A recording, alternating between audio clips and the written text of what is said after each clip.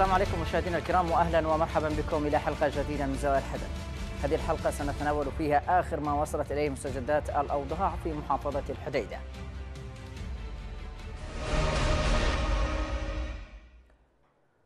وفقا لما يتم تداوله في وسائل الإعلام فإنه من المفترض أن تبدأ يوم غد أولى خطوات تطبيع الأوضاع في محافظة الحديدة بفتح كيلو 16 لعبور شاحنة من المساعدات الإنسانية إلى صنعاء وكذلك إلى جنوب الحديدة لكنه لم يصدر حتى الآن أي جديد من أعضاء الفريق المشترك برئاسة كبير مراقبي الأمم المتحدة باتريك كاميرت. ولا يزال الحديث مستمرا عن السلام وإيقاف إطلاق النار في هذه المحافظة الاستراتيجية التي فرضت أهميتها دوليا. فيما الواقع على الأرض يتناقض تماما مع ما يقال أو يطرح في الغرف المغلقة. في حلقة اليوم من زوايا الحدث نتناول الوضع في محافظة الحديدة من زاويتين. ما الذي تم بخصوص تنفيذ تفاهمات ستوكهولم؟ وما الذي يمكن أن يتحقق فعلا؟ نشاهد هذا التقرير ونبدأ النقاش بعدها مع ضيوفي. اختتمت اليوم في الحديدة أشغال الجولة الأولى لمهام الفريق المشترك المكون من الحكومة والإنقلابيين بإشراف كبير المراقبين الأمميين باتريك كيمرت بعد الاتفاق على ملامح الخطوات العملية الأولى. حتى الآن لم يعلن أي طرف. أي شيء من نتائج ما اتفق عليه ويتوقع أن يعلن ذلك في مؤتمر صحفي بالتنسيق مع كبير المراقبين. في طريق عودته عبر الفريق الحكومي من شارع الخمسين وهي الجهة التي قدم منها حين دخوله. وحسب ما تم تسريبه من معلومات فإن من المقرر أن تستهل الخطوات العملية بفتح طريق المدخل الجنوبي الشرقي باتجاه كيلو 16 لعبور المساعدات الإغاثية إلى صنعاء ومناطق جنوب الحديدة. الجانب الحكومي وافق على هذا المقترح مقابل إلزام الانقلابيين بإزالة الألغام من مناطق التماس الشرقية وهو اتفاق لم يعلن عنه رسميا حتى اللحظة عمليا ثمة تناقض كبير بين ما يجري في غرف المفاوضات وبين ما يشهده الميدان. فلا يزال الانقلابيون يختطفون المواطنين ويرسلون معتقليهم إلى صنعاء ويواصلون حفر الخنادق والأنفاق في بيوت المواطنين الواقعة على خطوط المواجهة الجنوبية والشرقية. أيضا لم يتوقفوا على نصب منصات الكاتيوشا ولا عن إعادة انتشار المدافع والقاذفات. وفي جنوب الحديدة أيضا لا تزال المناوشات مستمرة ولا يزال الحوثيون يستهدفون المدنيين في التحيت وحيس وتقتل ألغامهم الصيادين والمزارعين ما يثير التساؤل والشكوك معا حول جدية المجتمع الدولي في صنع السلام الحقيقي في اليمن. إذا مشاهدينا نبدأ النقاش وأرحب بضيفي سينضم إلينا الناشط السياسي من جدة عثمان العيدروس. وأرحب أيضا بضيفي من محافظة الحديدة الصحفي سامي الأهدل. مرحبا بكما ضيفي. أبدأ معك سيد سامي. مساء الخير. أهلا وسهلا. أهلا بك سيد سامي. يعني لو تضعنا في آخر المستجدات بمحافظة الحديدة آه نعم على المستوى العسكري لا زالت الخروقات آه تشهدها مدينة الحديدة تحديدا في شارع الخمسين آه لكنها تظل محدودة جدا آه لكن الخروقات التي حدثت في المديريات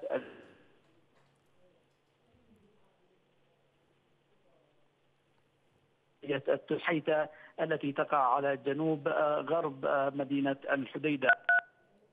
لا زال القصف المدفعي وتبادل إطلاق النار يحدث بين ساعة وأخرى.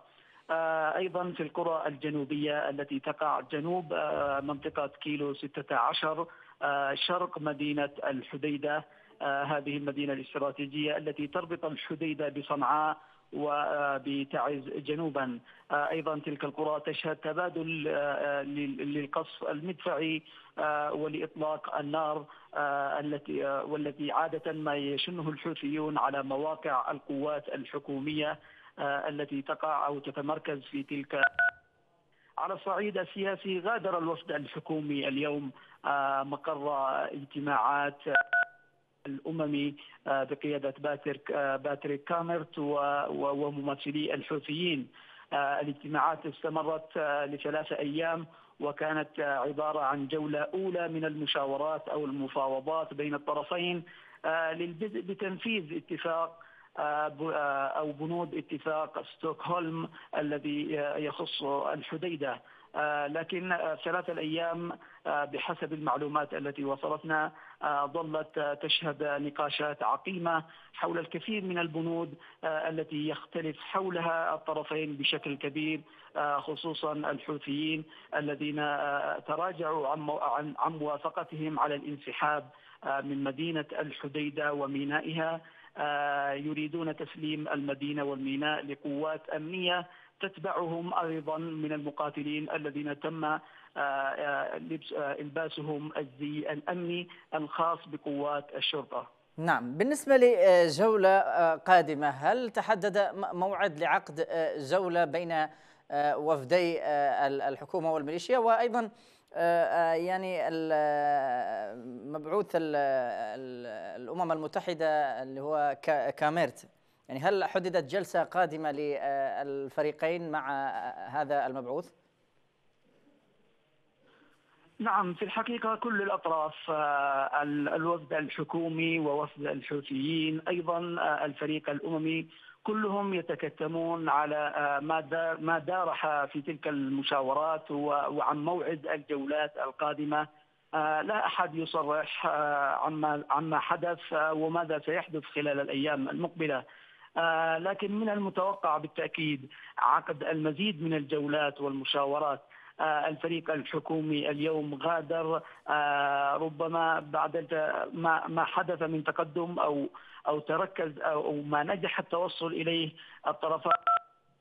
فتح منفذ مدينة الحديدة الشرقي الذي يؤدي إلى منطقة كيلو 16 ثم إلى العاصمة صنعاء. آه، يبدو أن الطرفان وافقا بضغوط من الرجل من الكبير المراقبين الأمميين آه، الذي شدد على فتح هذه الطريق لخروج المساعدات القادمة من ميناء المدينة آه، نحو صنعاء والمحافظات الشمالية. نعم. هذا ما ما تم التوصل إليه فقط خلال هذه الجولة. نعم ابقى معي سيد سامي أذهب لضيفي الآخر من آه، جدة الناشط السياسي عثمان العيدروس سيد عثمان مساء الخير. مساء النور أخي لك ولجميع الإخوة المشاهدين والمستمعين وللأخ سامي الأهدل. أهلا بك آه، سيد عثمان. يعني برأيك كيف سيتحقق السلام في آه، الحديدة على ضوء المعطيات القائمة؟ أعتقد أن اتفاق السويد أو تفاهمات السويد التي رعتها القوى الدولية وكان هناك ضغط من المجتمع الدولي نعم. لإنجاحها وتم تعميد ذلك من خلال تصويت مجلس آه، الأمن بالقرار 2251 آه، نعم. أو 2451 مما أصبحت تلك التفاهمات تحظى بتأييد دولي وتعزيز أممي. آه، هي ستكون البوابة الأولى والاختبار الحقيقي لنجاح أي اتفاق أو مفاوضات قادمة. آه، لماذا؟ لأنها حظت برعاية وبتنازلات وبضغوطات أممية وهي المحك الحقيقي. إذا ما تم تطبيقها والنجاح فيها أؤكد لك أن أن ستكون هي البوابة للحل السياسي القادم وللانتقال السياسي للأزمة اليمنية التي هي حاصلة نتيجة هذا الانقلاب ونتيجة ما ما عزز ذلك وأصبح وأصبحنا الآن نقارب السنة الرابعة ولم نخرج من هذه الدوامة. نعم. إذا آه، ابقى معي آه، سيد آه، عثمان. أشرك معنا في الحديث سينضم إلينا بسيم الجناني صحفي سينضم إلينا من محافظة الحديدة سيد بسيم مساء الخير. مرحبا بك أخي مساء النور. أهلا بك سيد بسيم. يعني ما الذي تم وفقا لمعلوماتك وإلى أين تتجه الأمور في الحديدة؟ نعم أخي طبعا هناك فصل بين ما يتم على المستوى السياسي وعلى مستوى المعارك في الأرض يبدو أن الحوثيين يحاولون كسب مزيد من الوقت فقط في عملية المراوغه في المجال السياسي خاصة مع وصول الجنرال باتريك كاميرت إلى الحديدة كاميرت إلى الحديدة. طبعا هناك يعني تصاعد في المعارك على تزامن مع عقد اللقاءات بين وفدي الحكومة والحوثيين. آه المعارك اليوم كانت فجر شدها هناك قصف مدفعي مستمر من الحوثيين. هناك اختراقات آه منذ آه دخول حيز دخول الهدنة حيز التنفيذ الحوار أو النقاش في موضوع الممرات الآمنة. الحوثيون يحاولون الضغط على فتح طريق كيلو 16 باتجاه المديريات الشرقية والجنوبية. هناك موافقة من الوفد الحكومي على هذا الرفان على الغام والعبوه الناشفه على الطريق يؤدي إلى كيلو 16 وهو ما تحاول شيء التوصل منها باعتبار انها بهذه الطرق انها تمرر القوافل بشكل سلس الا ان الوفد الحكومي يرفض اي فتح للممر حتى يتم نزع الالغام كافه لضمان أيضا وصول المساعدات.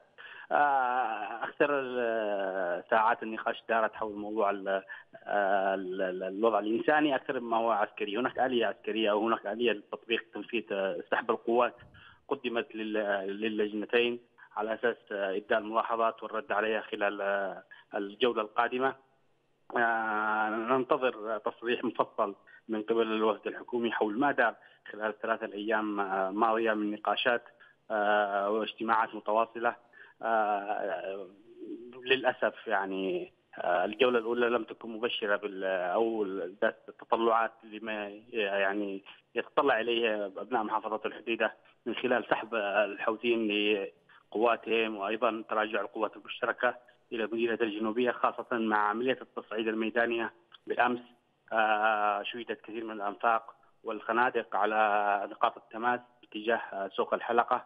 أيضا نقلت أسلحة ثقيلة من المديرية الشمالية إلى بجوار جامعة الحديدة من ضمنها منصات صواريخ كاتيوشا أعتقد أن الحوثي يحاول يلعب على عامل الوقت أكثر مما هو يعني ملتزم بشكل أساسي بتنفيذ اتفاق السويد وانسحابه من داخل مدينة الحديدة. أيضا هناك قضية ميناء الحديدة التي طرحت بشكل أساسي في في اللقاءات أن الحوثي يحاول أن يتنصل من عملية انسحاب يعني بحجة أن اتفاق السويس لم ينص على أي أي حلول اقتصادية. وأن هناك أن ما تم ما تم الاتفاق عليه هو عبارة عن انسحابات عسكرية فقط ولا يريد أن يسلم الميناء لاي جهة أخرى وأنه يريد أن يتمسك بسلطته على الموانئ سواء من الحديدة أو من القلب أو رأس عيسى. نعم، اذا سيد بسيم ابقى معي سأعود إليك. أذهب لضيفي سامي الأهدل، سيد سامي بالنسبة لتسيير يعني قافلة غذائية أو عفوا إغاثية ونزع أيضا الألغام في مناطق سيتي ماكس وكيلو 16 يعني هل بدأت هذه الإجراءات بالفعل أم أنه يعني ما زال عبارة عن تصريحات ويعني نستطيع نقول تفاهمات في هذا الجانب. نعم في الحقيقة لا زالت حتى الآن مجرد تفاهمات حتى أنها تفاهمات غير متفق عليها من الجميع. في الحقيقة اختصار مشكلة الحديدة وسكان الحديدة في في قضية المساعدات الإنسانية ووصولها إلى المحافظات اليمنية هو تسطيح للقضية وللحرب التي تشهدها المدينة. المساعدات الإنسانية ستصل إلى المحافظات اليمنية ولا زالت تصل حتى التي تحيط بالمدينة من كل مكان. لا زال الميناء يعمل والمنفذ الشمالي لا زال تخرج عبر المساعدات الغذائية والإغاثية إلى كل المحافظات اليمنية. فقط يحاول المجتمع الدولي الذي يمثله باتريك كامرت والحوثيون التركيز على القضية الإنسانية من هذه الزاوية فقط ومن زاوية استمرار عمل المساعدات والمنظمات الدولية. لكن في الحقيقة أبناء الحديدة لديهم الكثير من المشكلات التي يريدون حلها ويتطلعون إلى حلها من خلال انسحاب القوات وإيقاف المعارك. هم يريدون إيرادات المدينة أن تعود إلي عليهم بالنفع أي أن تصرف مرتباتهم المتوقفة منذ منذ أكثر من عامين أن يتمكنوا من العودة إلى منازلهم. ونحن نتحدث هنا عن عن آلاف النازحين من مدينة الحديدة المشردون في كل محافظة يمنية جنوبا وشمالا. أيضا لديهم مشكلة الطرقات التي لا زالت مغلقة وانتشار الآليات العسكرية داخل الأحياء. آه، الخنادق والأنفاق التي تبنى آه، الألغام التي تنتشر في كثير من الأحياء الشرقية تحديدا لكن سيد آه، سيد سامي يعني هنا سؤال أخير أو تساؤل أخير باختصار بسبب ضيق الوقت يعني في مسألة مهمة يعني باتريك كاميرت يعني هل تتوقع لها النجاح و يعني إنجاز ما أتى إليه هذا الرجل أن آه، يعني ما يحدث هو استهلاك للوقت فقط لا غير. آه نعم بكل تأكيد. آه هناك نية من الحوثيين ربما لكسب الوقت آه وتظل كل الخيارات مطروحة. آه وأنا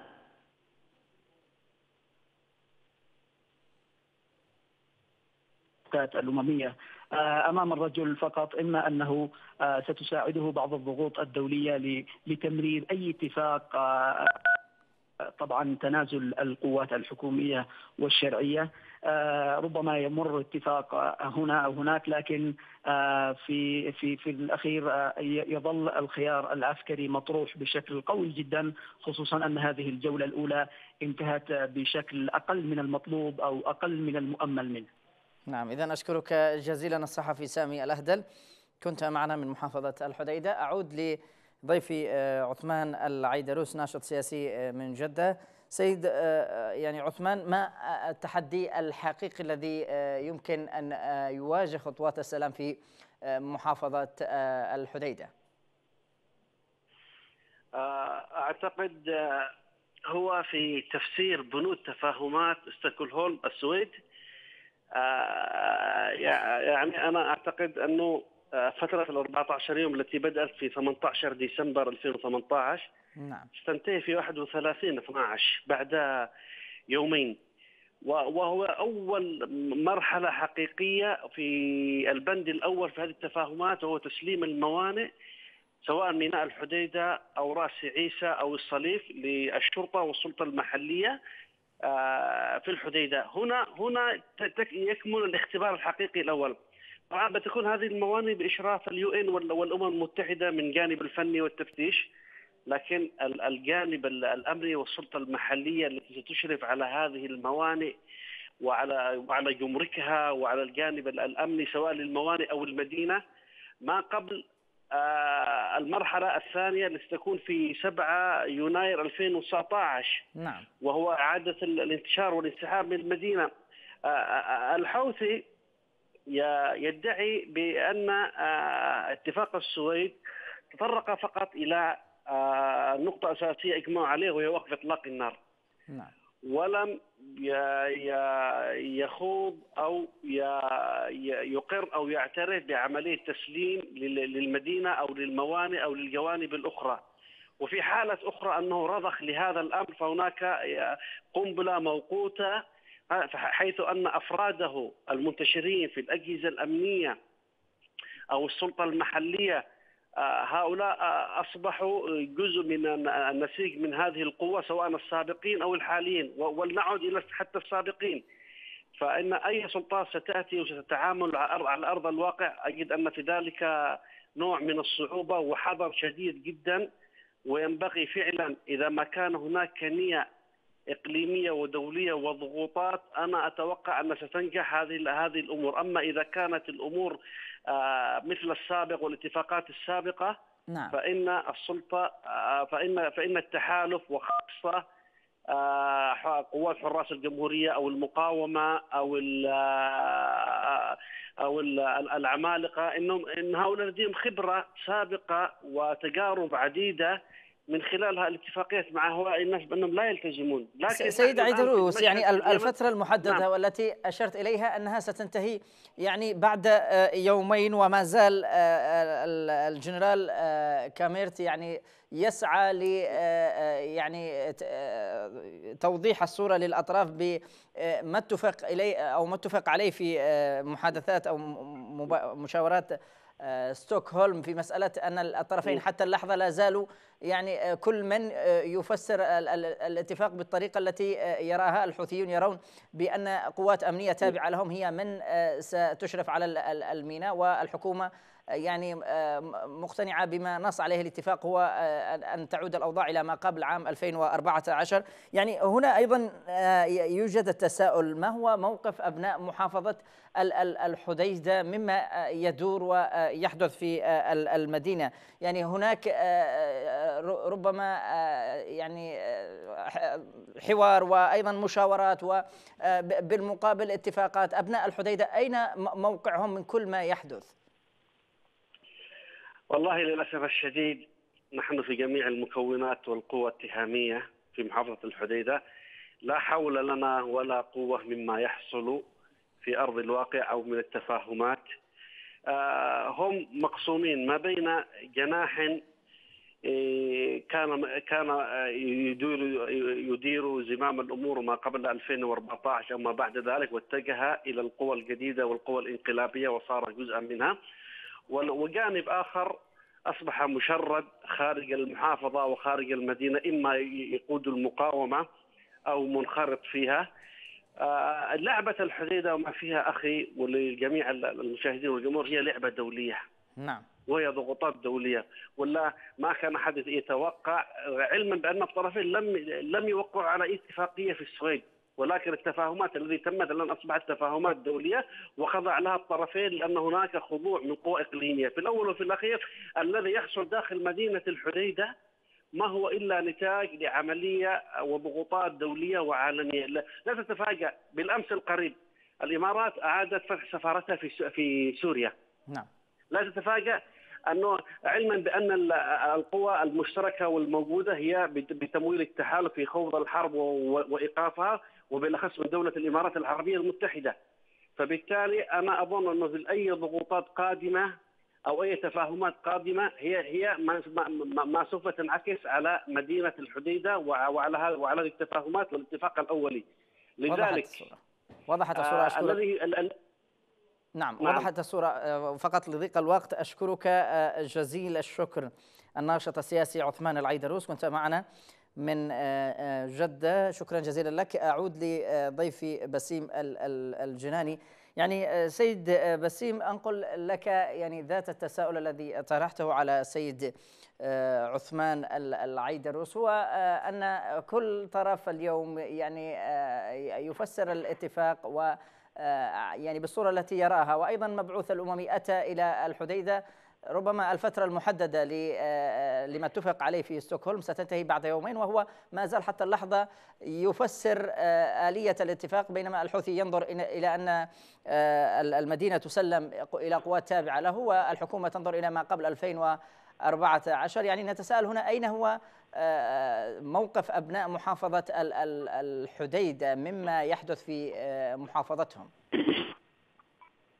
نعم يا أخي أبناء المحافظة إما ناجحين أو جزء كبير منهم منخرط في عملية المقاومة على الميدان وهناك آخرين أيضا آه، لا يزالون يدعمون قوى الانقلاب داخل المحافظه لكن السواد الاعظم من سكان المدينة هم لا حول لهم ولا قوة إما أنهم محاصرين داخل المدينة في شوارع مغلقة وصول ورواتب منقطعة ولا إغاثة إنسانية ولا وجود أي مظاهر للحياة داخل المدينة وإما ناجحين خارجها مشردين أيضا رواتبهم منقطعة. آه، أعتقد أنه الوضع الإنساني لأبناء محافظة الحديدة هو الأكثر آه، تأثيرا على هذه آه، الشغلات التي تجرى حاليا. هناك نية أو رغبة كبيرة لدى أبناء المحافظة أن تنتهي هذه أن ينتهي هذا الكابوس الذي كتم على أبناء على ابنائها على مدى آه، سنتين سواء من المجريات الجنوبية التي تقدمت فيها القوات المشتركة خلال الفترة الماضية أو نعم. داخل منطقة الحدود التي الآن على مدى ستة أشهر وهي تعاني من عمليات قتال مستمرة لم تحسم فيها أي معركة آه، ويحاول الحوثي المراوغه من خلالها إعادة آه، ترتيب الصفوف بشكل كبير حتى آه، يعني أنه أصبح اليوم آه، حول كافة شوارع المدينة لسكنة عسكرية وهو ما يخيف يعني ما أصبح يشكل هاجس وخوف كبير لدى سكان المدينة بان يعني تمتد يمتد الدمار الذي لحق بالمناطق أو أطراف المدينة باتجاه شارع الخمسين و7 يوليو إلى داخل المدينة وتكون الكارثة الإنسانية الأكبر. هناك رغبه كبيره بان تنتهي هذه الحرب وان كانت بعمليه اتفاق وسلام انسحاب الحوثيين من مدينه الحديده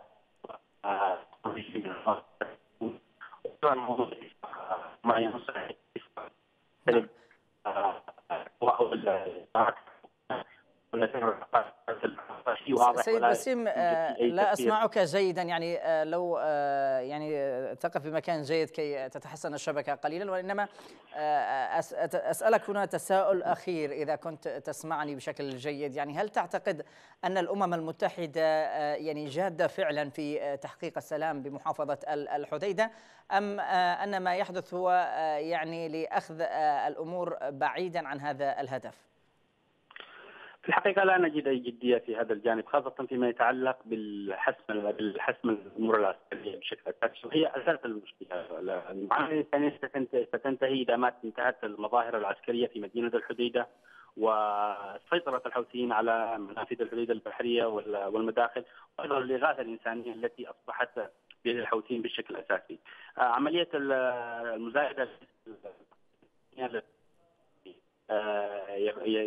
يرددها الحوثي لم تعد خافيه أو مجدية خاصة مع معرفة من هو المتسبب بالمعاناة الحوثي ضد أبناء الحديدة. أعتقد أنه مسألة الأمور العسكرية ستكون معقدة جدا وحلها سيكون معقد جدا إذا ما تم اتخاذ إجراءات واضحة وصريحة وفق بنود اتفاق السويس وعدم تأويلها وتفسيرها حسب أهواء الحوثيين وأعتقد أن الحكومة ولجنه الوفد الحكومي قد فسرت هذا الاتفاق بشكل واضح ولا وهو أيضا بنوده صريحة لا يمكن تفسيرها آه، كما يحاول الحوثي آه، تضليل مناصري ومن يقاتلون في صفوفه بأنها انتصار على آه، على الحكومة الشرعية.